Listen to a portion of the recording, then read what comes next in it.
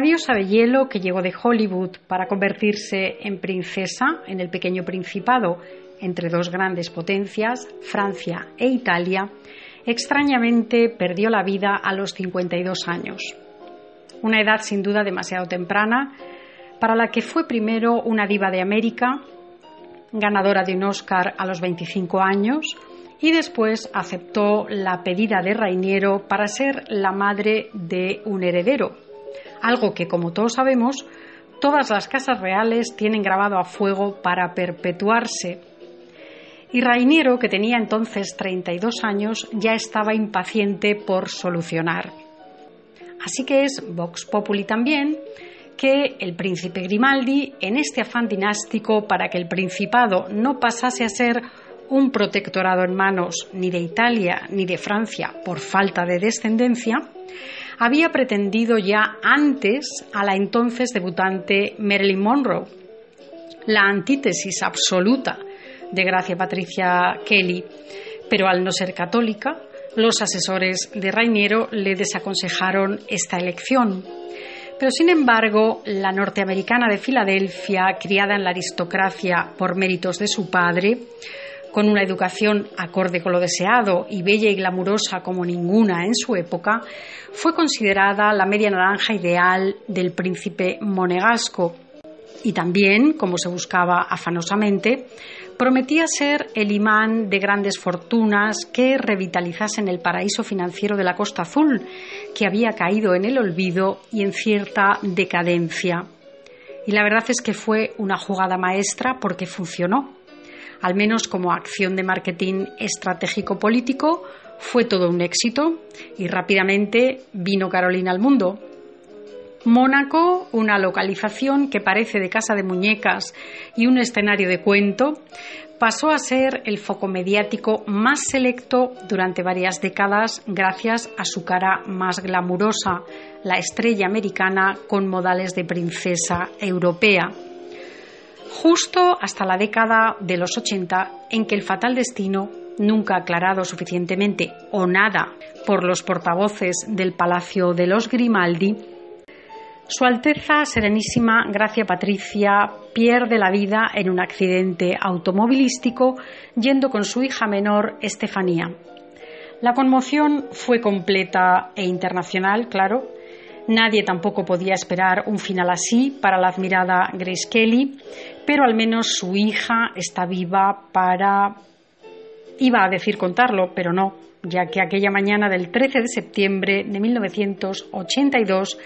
jamás se ha verbalizado públicamente por la díscola y problemática Estefanía.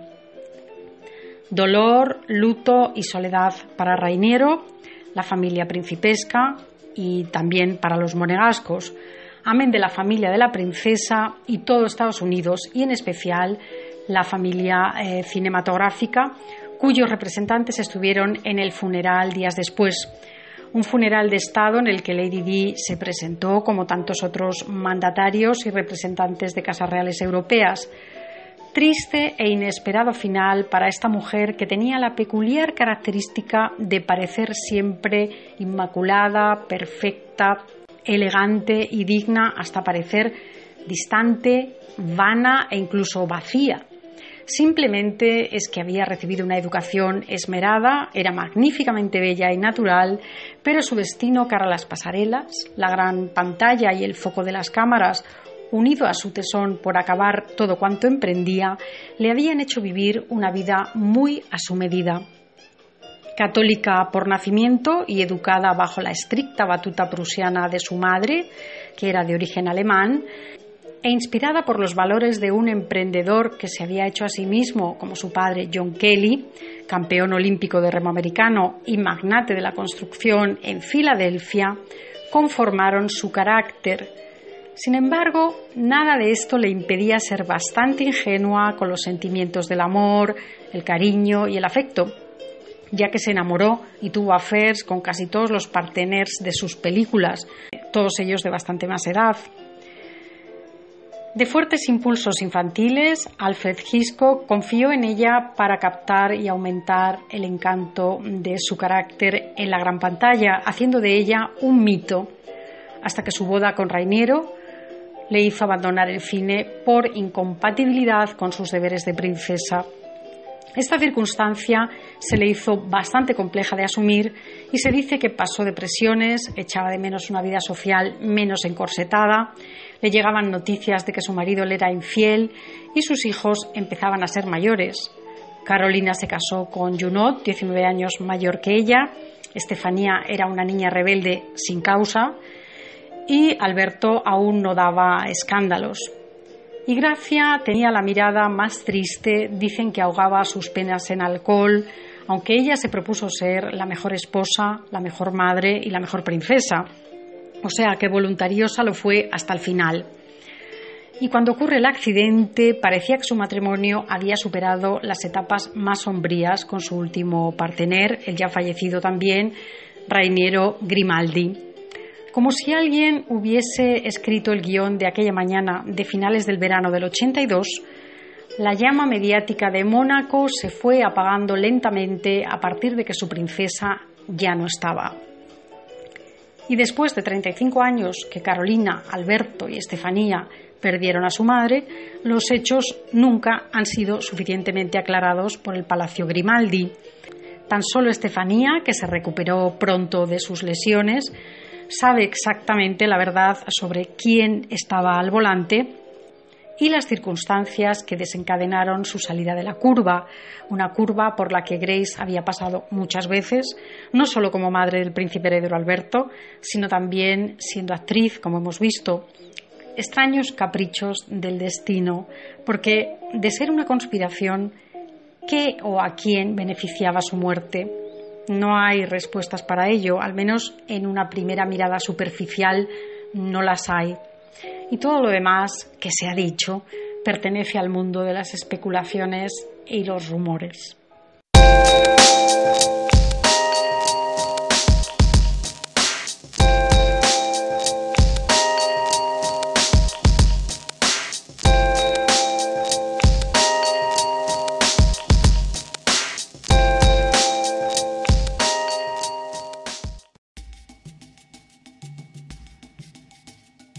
Mandatarios y representantes de casas reales europeas. Triste e inesperado final para esta mujer que tenía la peculiar característica de parecer siempre inmaculada, perfecta, elegante y digna hasta parecer distante, vana e incluso vacía.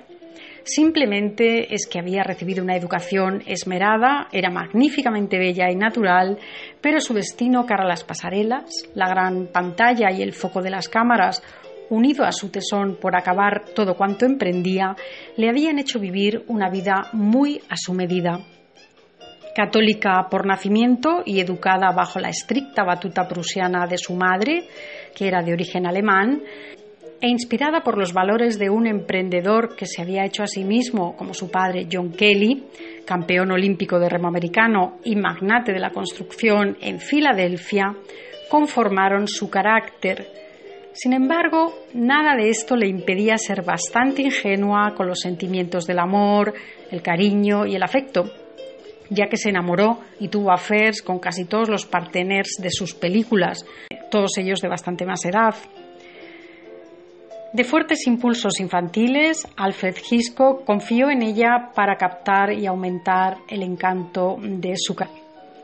Así que es Vox Populi también que el príncipe Grimaldi, en este afán dinástico para que el principado no pasase a ser un protectorado en manos ni de Italia ni de Francia por falta de descendencia, había pretendido ya antes a la entonces debutante Marilyn Monroe, la antítesis absoluta de Gracia Patricia Kelly, pero al no ser católica, los asesores de Rainiero le desaconsejaron esta elección. Pero sin embargo, la norteamericana de Filadelfia, criada en la aristocracia por méritos de su padre, con una educación acorde con lo deseado y bella y glamurosa como ninguna en su época, fue considerada la media naranja ideal del príncipe monegasco y también, como se buscaba afanosamente, prometía ser el imán de grandes fortunas que revitalizasen el paraíso financiero de la Costa Azul, que había caído en el olvido y en cierta decadencia. Y la verdad es que fue una jugada maestra porque funcionó. Al menos como acción de marketing estratégico político, fue todo un éxito y rápidamente vino Carolina al mundo. Mónaco, una localización que parece de casa de muñecas y un escenario de cuento, pasó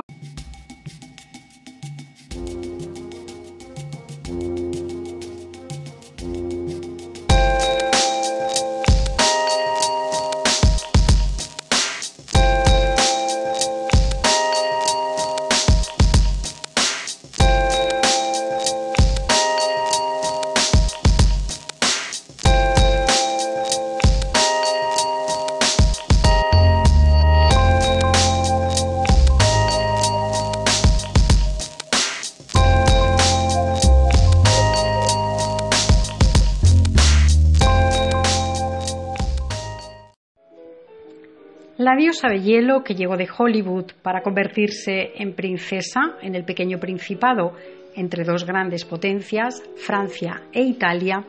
extrañamente perdió la vida a los 52 años. Una edad sin duda demasiado temprana para la que fue primero una diva de América, ganadora de un Oscar a los 25 años, y después aceptó la pedida de Rainiero para ser la madre de un heredero, algo que, como todos sabemos,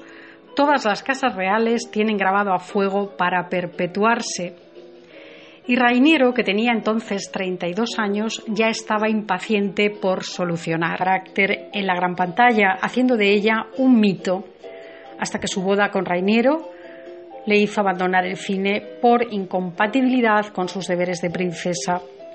Esta circunstancia se le hizo bastante compleja de asumir y se dice que pasó depresiones, echaba de menos una vida social menos encorsetada, le llegaban noticias de que su marido le era infiel y sus hijos empezaban a ser mayores. Carolina se casó con Junot, 19 años mayor que ella, Estefanía era una niña rebelde sin causa y Alberto aún no daba escándalos.